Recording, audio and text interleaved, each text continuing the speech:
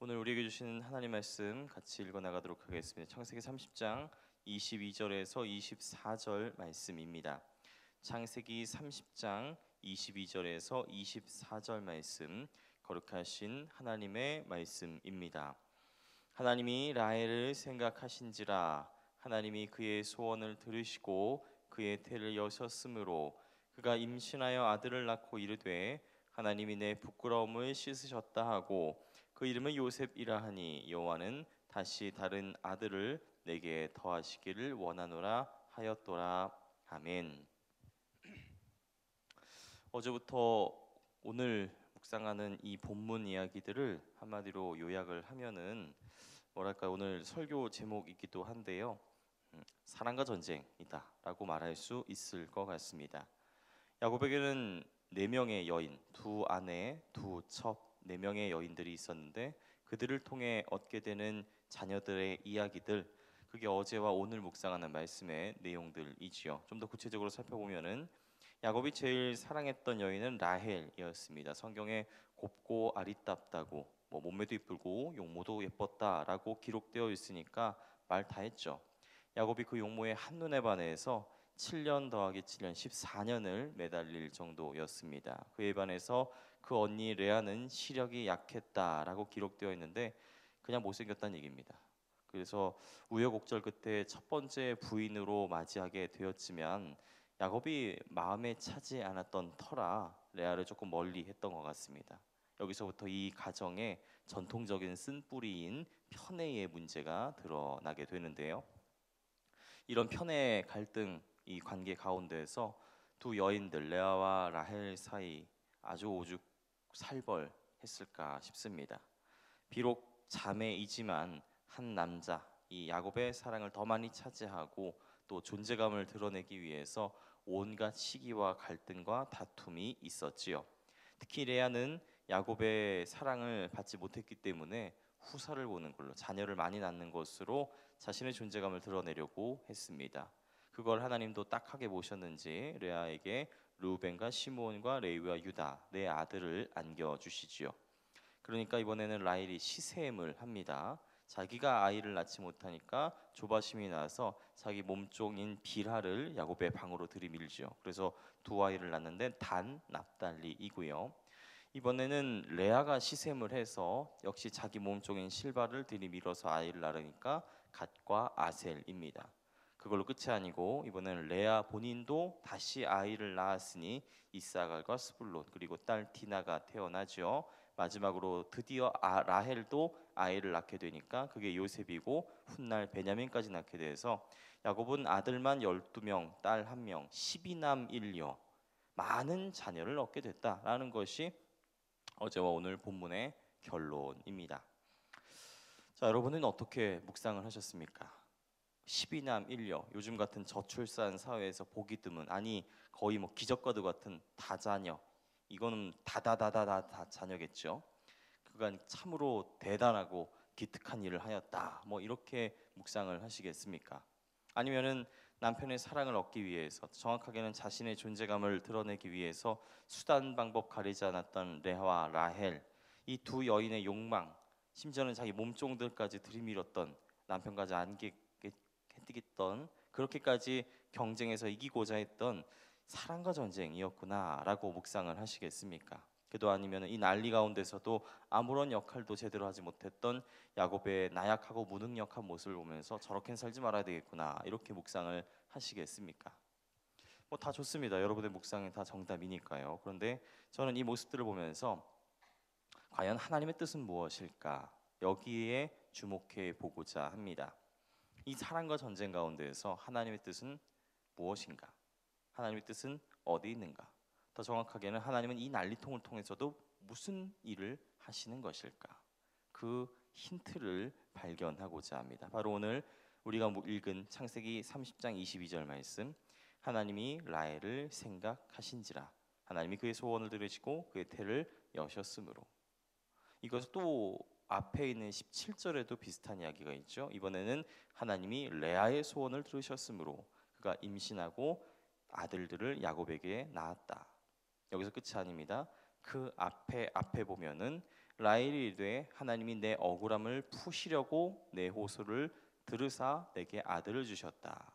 또 그 앞에 보면은 여호와께서 레아가 사랑받지 못함을 보시고 그의 태를 여셨다.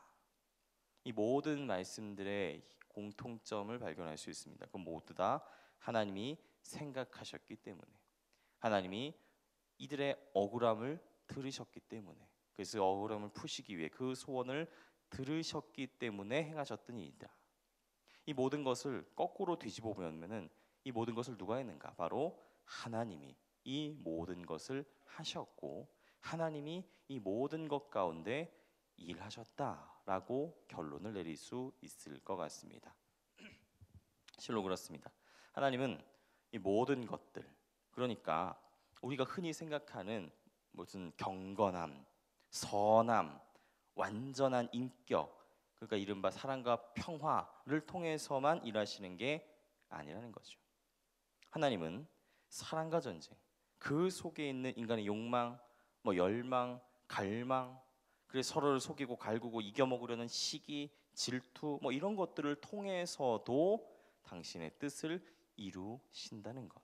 달리 말하면 모든 것이 준비되고 잘 갖춰지고 완벽한 그런 상황이 아니더라도 흠이 많고 나약하고 불안하고 불안전한 그런 사람들, 상황들, 환경들을 통해서도 하나님은 놀라운 역사를 만들어 내신다. 오늘 본문에 나오는 야곱의 열두 아들이 그 케이스입니다.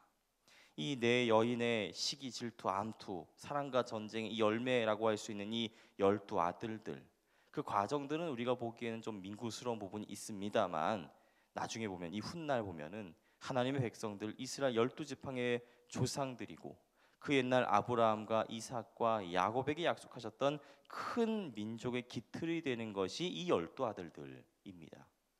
또 나중에 또 묵상하겠지만 이 열두 아들들 사이에 벌어지는 갈등들, 분쟁들, 대표적으로 동생 요셉을 시기해서 머리 팔라버리는 참담하고 황당한 비극이 일어나게 되지만 그 참담한 비극을 통해서도 하나님은 야곱과 그의 가정과 더 나아가서 이집트와 많은 백성들을 기근과 죽음으로부터 구원하시는 놀라운 계획을 완성하신다는 거죠. 이것을 두고 훗날 요셉 본인이 이렇게 고백합니다. 창세기 45장 7절 8절 하나님이 큰 구원으로 당신들의 생명을 보존하고 당신들의 후손을 세상에 두시려고 나를 당신들보다 먼저 보내셨으니 그런즉 나로 이로 보내니는 당신들이 아니고 누구요? 하나님이시라.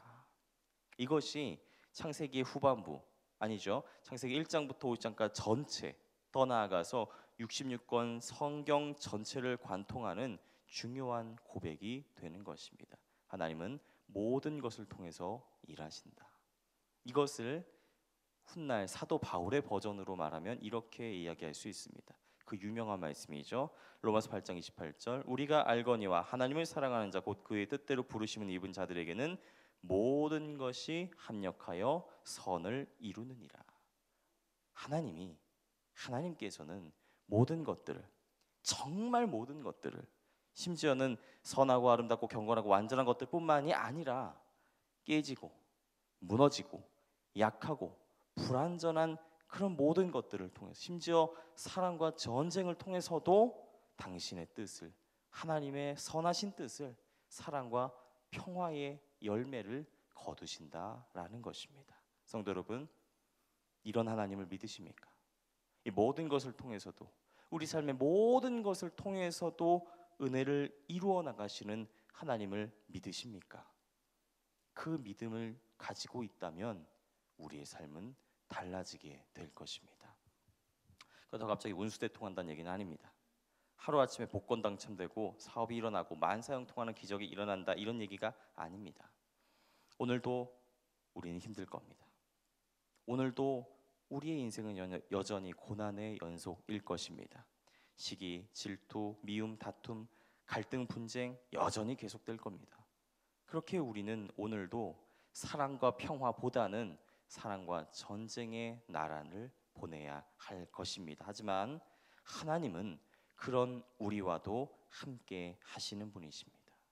깨지고 다치고 넘어지고 무너지고 약하고 불안자로 맨날 그 모양 그 꼴로 살아가는 우리이지만 하나님은 그런 우리의 모든 것을 통해서 일하시는 분이심을 꼭 기억하시고 믿으시기를 바랍니다. 그 하나님을 믿으신다면 그 믿음의 눈으로 오늘 하루를 바라본다면 사랑과 전쟁과 같았던 우리의 삶 가운데서도 하나님께서 이루시는 사랑과 평화의 은혜를 발견하게 될 것입니다. 그 은혜를 기대하면서 그 소망을 품으면서 오늘 하루를 살아갈 수 있는 우리 모두가 되시길 간절히 바랍니다. 기도하겠습니다.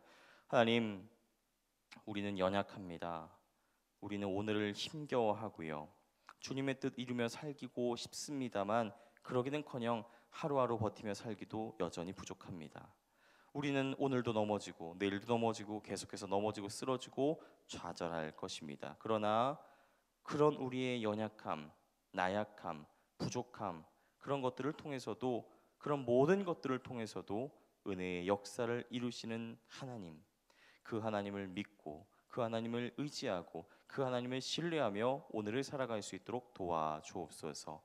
오늘 우리와 함께 하실 주님의 은혜에 감사합니다. 미리 감사합니다. 예수님의 이름으로 기도합니다. 아멘. 이 시간 함께 나눌 기도의 제목입니다. 지금 들은 말씀이 내 삶으로 이어지게 하옵소서. 말씀 묵상의 길입니다. 은혜의 길로 나아가는 2023년이 되게 하옵소서.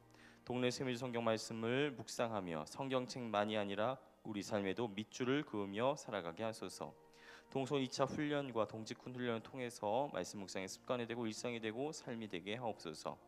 다음 주간에 있을 꿈새 하프타임을 믿음으로 준비하게 하시고 신앙의 훈련을 통해 더욱 성숙하게 하옵소서. 특별히 이번 꿈새 하프타임을 통하여서 인도네시아 어, 어린이 미카엘을 돕게 되는데 그 아이에게 주님께서 은혜 주시고 몸과 마음이 아픈 이들 믿음이 연약한 흔들린 이들 붙잡아 주셔서 주님의 은혜 주님의 사랑 늘 경험하며 감사하고 살아갈 수 있는 우리가 되게 하옵소서 이 시간 함께하는 공동 기도문과 각자 가지고 나오신 기도의 제목들 놓고 기도하시면서 삶의 자리로 나아가시기 바랍니다 기도하겠습니다 하나님 아버지 하나님 우리는 오늘도 넘어지고 또 넘어지고 또 넘어질 것입니다. 오늘 우리는 여전히 슬퍼하고 또 슬퍼하고 또 슬퍼하게 될 것이고요. 오늘 우리는 또 우리의 삶은 왜 이 모양 이 꼴인지 좌절하고 또 좌절하게 될 것입니다. 그러나 주님께서는 우리의 모든 것을 통해서 일하시는 분임을 우리가 믿습니다. 하나님 내 아내들의 그 사랑과 전쟁을 통해서도 열두 아들들의 열매를 통해서도 하나님의 놀라우신 뜻을 이루어 나가셨던 것처럼 하나님 우리의 모습들을 통해서도 우리의 나약함을 통해서도 우리의 부족함을 통해서도 하나님의 놀라운 뜻을 이루실 것을 믿습니다. 그 믿음을 가지고 오늘 하루를